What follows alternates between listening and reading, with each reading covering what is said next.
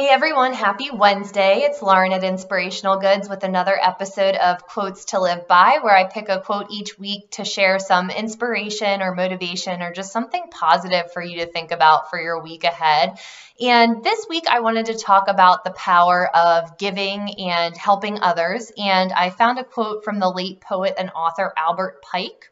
His quote goes, What we do for ourselves dies with us. What we do for others in the world remains and is immortal. And I love this quote because it just shows the power of giving to others and helping others, um, and how much kindness towards other people and other things goes a really long way. When you think about it, we we should and i'm not saying we shouldn't do things for ourselves it's important for us to do things for ourselves because it helps with our own sanity and we need to take care of ourselves um, to, to give ourselves a, a great life and be healthy mentally, spiritually, physically. Um, so I'm not saying don't don't focus on the things you need to do for you, but I want to talk about the importance of not just doing stuff stuff for yourself and um, you know reaching out to others in need um, and the importance of offering help, volunteering, um, being generous, being kind.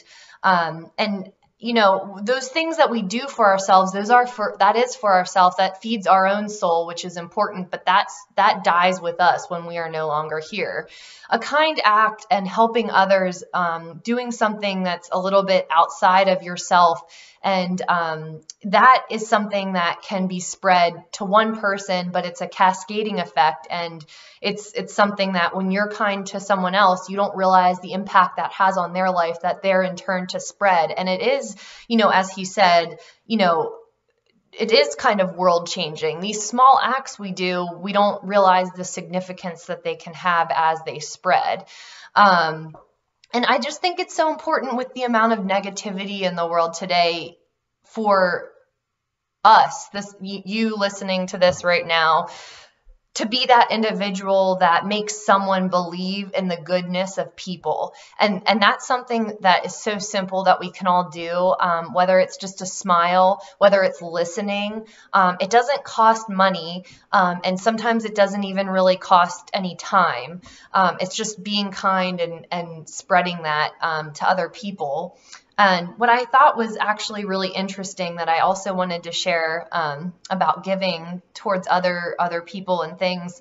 Um, I was reading in a Psychology Today article about the correlation between um, giving and being generous and volunteering with links to happiness in the brain. Um, and it's basically in helping others, we we help ourselves and we increase our overall well-being and we decrease our overall levels of depression when we are volunteering when we're helping someone else out. And what happens is we have that positive social environment because we're helping others and it makes us more relatable to others because we are social animals and we want that connection and that relatability. So when we're connecting with others by helping them in some way it actually shows um, they found neural evidence and MRIs showing that by giving, there's a link between that and happiness in our brains. So it also helps us out. Um, so anyway, I just I wanted to share this with all of you. It's if you're having a bad day, the fastest way to boost your mood is to do something kind for someone else, and you're also going to be impacting their world.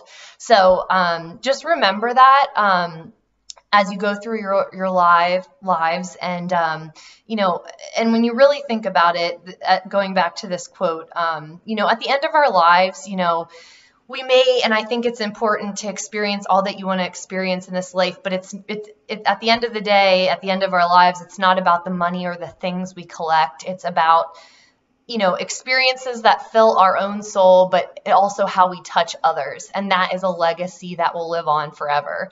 So, um, anyway, I just hope that this was something um, that, uh, you know, gave you something to think about this week um, as you share and, and your, live your life with people around you.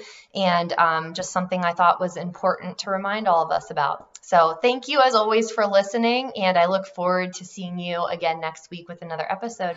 Bye, everyone.